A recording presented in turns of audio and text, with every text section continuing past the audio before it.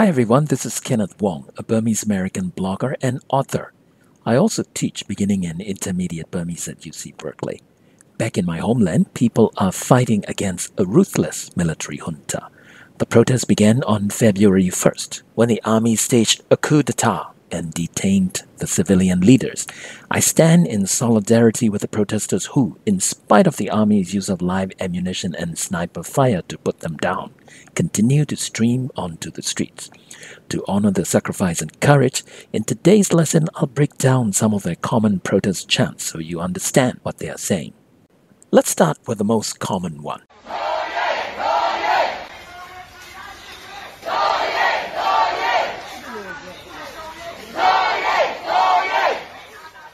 The phrase do ye is literally our cause or our goal, made up of the word do for our and ye for cause or goal.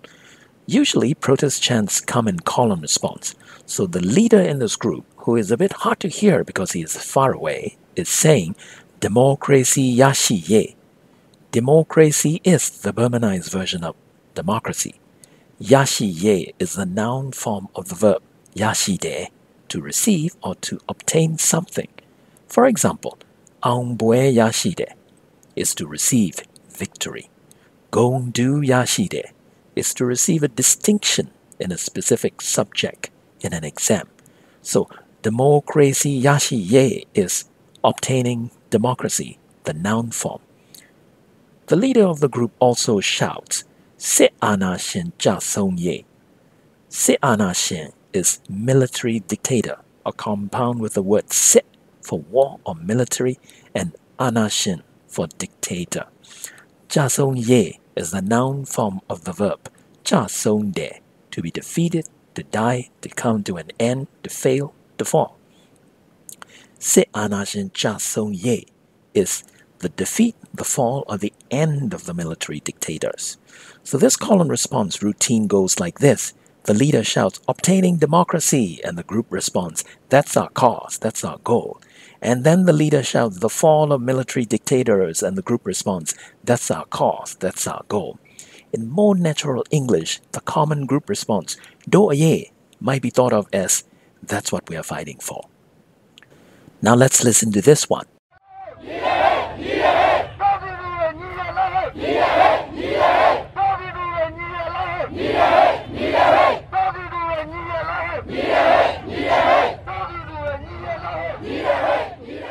Do Pidude is the combination of Do for we and Pidude, the people. This is the Burmese version of we the people. Nire, one more time.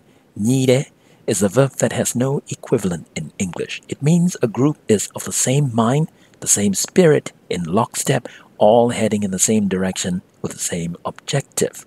The closest might be united.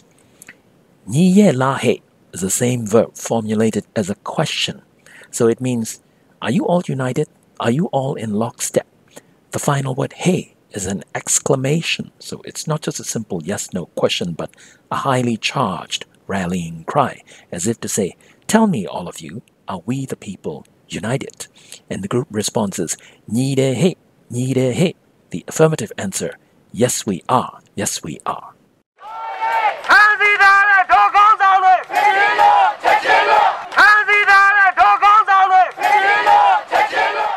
Panzide is the verb to catch or to detain. Panzitade makes it an adjective clause, modifying the noun that comes after. What follows is do gangzangde. That's a combination of do for our and gangzangde, leaders. This is a reference to State Councilor Aung San Suu Kyi, President Win Myint, and other civilian leaders detained by the military. Panzi Taret do Gangzangde the leaders that are detained is the protesters' call, and the group response was Chechen Hlo, Chechen Hlo. Chechen is the adverb phrase that means immediately or right away. For example, Chechen Thwa, go right away. Chechen Pye, answer right away. Hlo is to release, to free somebody from bondage or captivity. So Chechen Hlo is a command, release them or free them right away. The pronunciation hl is important. you have to use the breathy hl, not l. One more time, it's hl, not l. The difference is hl is the verb to release. Without the breathy ha, l is to be free, to be liberated. With chachin hl, the command form, the people are asking the junta to release the detained leaders immediately. You cannot use l, the other verb here, because you cannot ask the civilian leaders to free themselves or walk out of confinement on their own. I wish that were the case, but it is not.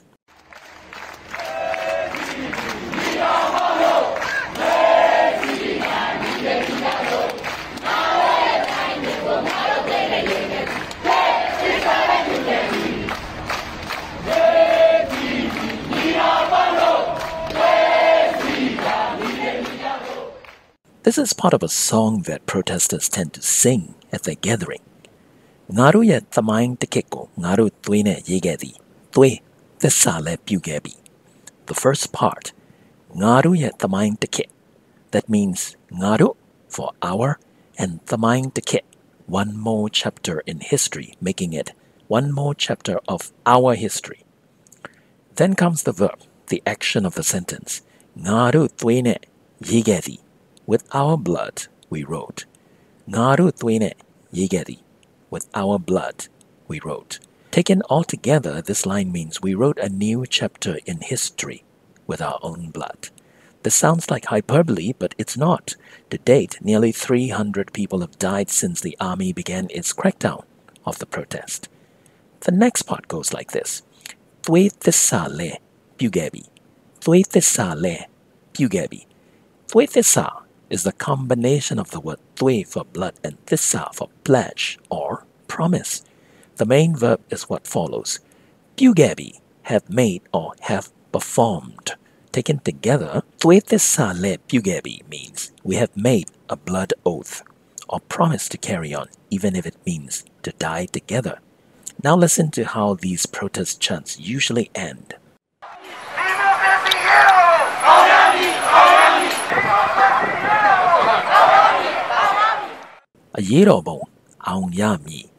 This call and response usually repeat three times, like the hip hip hooray. Never once, always three times.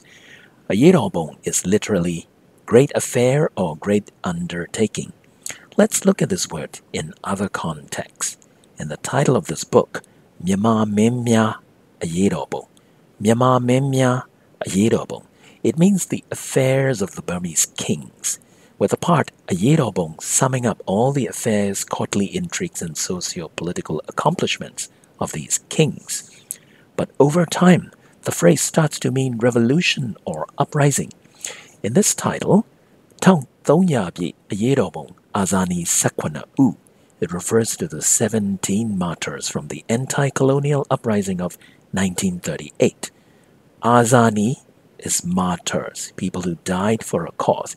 This is not to be confused with anashin, which means dictators. So one more time, azani, martyrs, anashin, dictators. Those who know something about Burmese numerics might be asking, wait, wait, it shows the Burmese number 1300. Why are you saying 1938?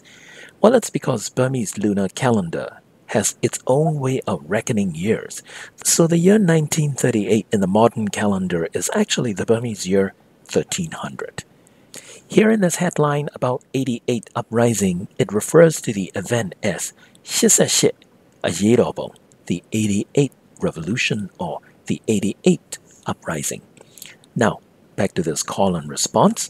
Aung Yami is the verb aung, to win or succeed in the must form that means it must succeed. It has to succeed. This call and response means the revolution must succeed. Call it a declaration of faith, call it conviction. That's what the protesters are saying. So let me show my solidarity to them by ending this lesson in the same way. Ayerobo, auyami.